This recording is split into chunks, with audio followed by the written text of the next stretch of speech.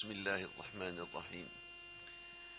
إذا كان مجلسنا بفضل الله وتوفيقه في حب الرسول المصطفى صلى الله عليه وسلم وأنا أتيقن يقينا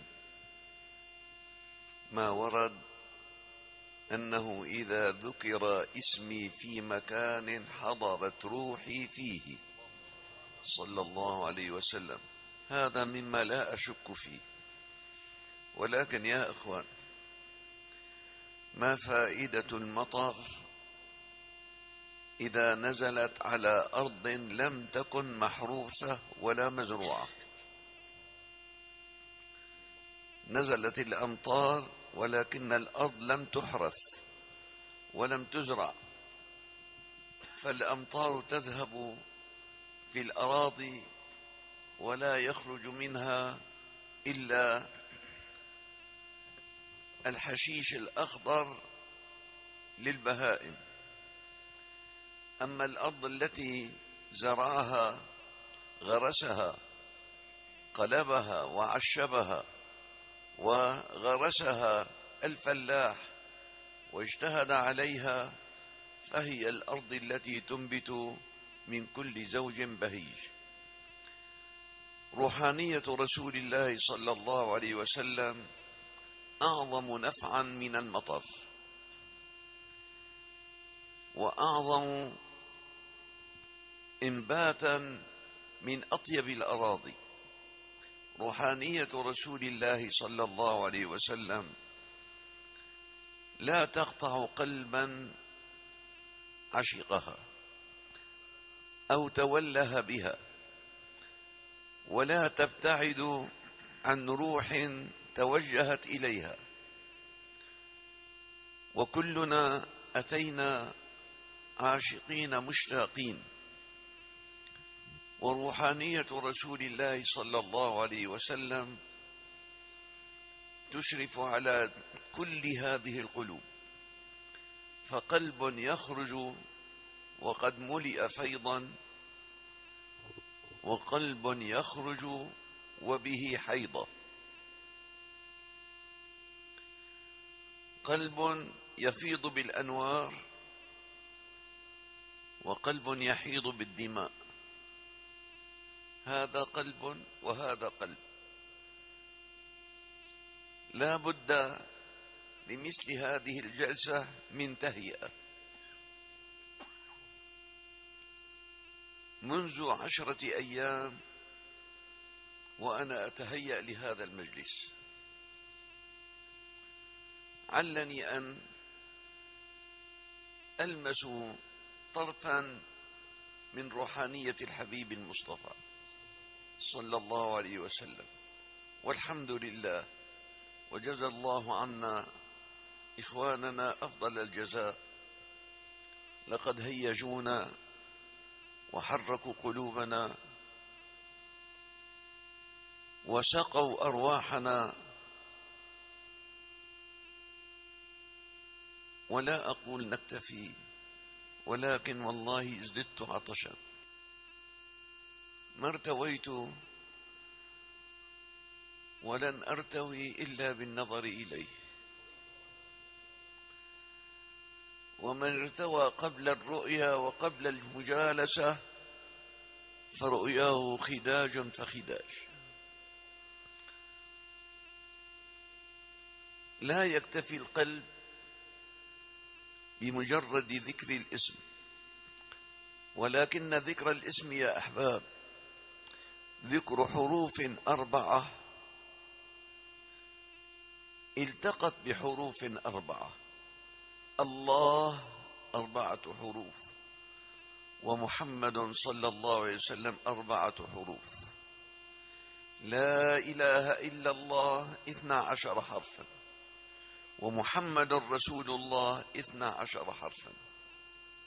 التقت هذه بهذه فالقلب العاشق هو الذي لا يفتر عن الصلاة عن الحبيب الأعظم. يا أحبابي إذا كنتم عاشقين لحبيب الله أكثروا من الصلاة عليه في طريقكم وفي مجالستكم ومع أهلكم أكثروا من الصلاة على الحبيب الأعظم.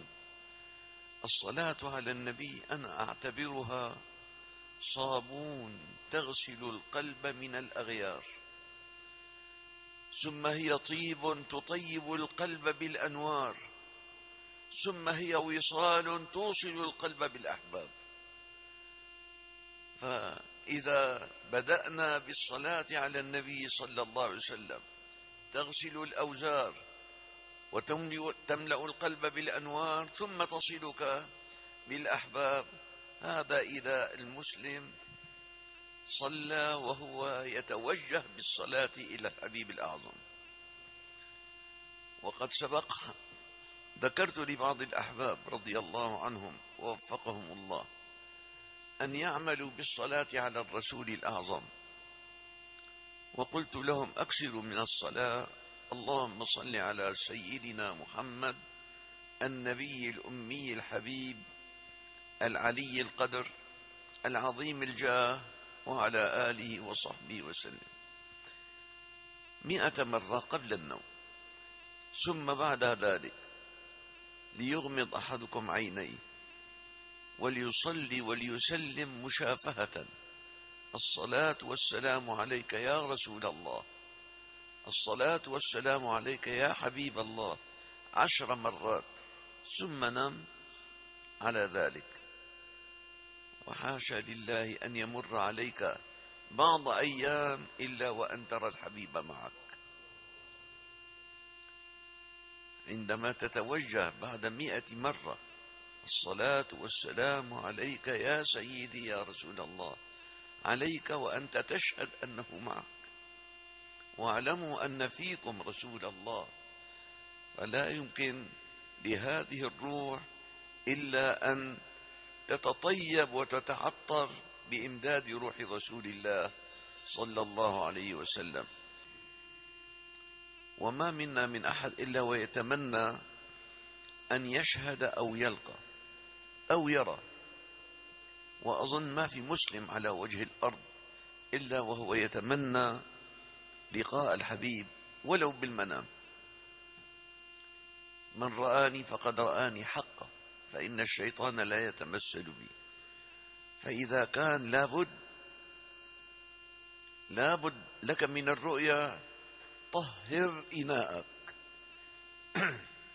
طهر إناءك لتوجه روحانية رسول الله. وكما أردد لكم أقول كان السمان من قبل السمان اللي بيع بيبيع بالمفرق كان السمان من قبل إلهن ذوق.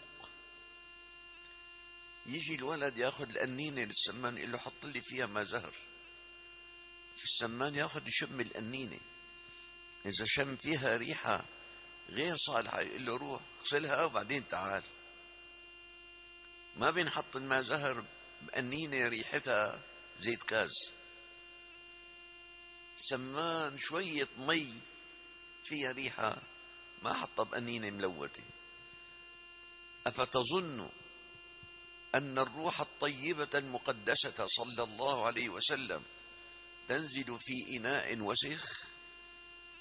في إناء ملوث بحب الدنيا أو بحب الشهوات أو بحب الملذات. لا والله لا يكون هذا.